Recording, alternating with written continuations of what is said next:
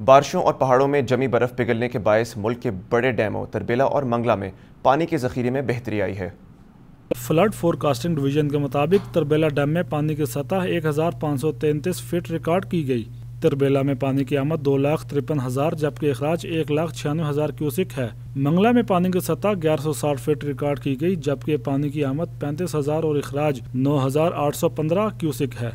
दरिया काबल में नौशहरा के मुकाम पर पानी की आमद बावन हज़ार क्यूसिक है। कालाबाग में पानी की आमद दो लाख बासठ हज़ार आठ सौ नब्बे। अखराज दो लाख चौवन हज़ार आठ सौ नब्बे क्यूसिक रिकॉर्ड किया गया। हेड मराला में पानी की आमद सतासी हज़ार नौ सौ नौ जबकि अखराज चौवन हज़ार दो सौ छियानवे क्यूसिक रिकॉर्ड किया गया है।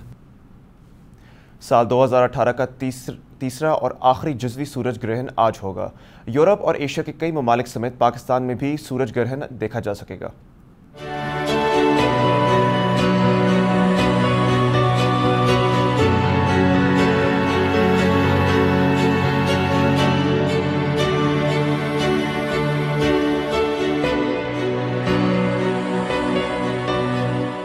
जुजवी सूरज ग्रहण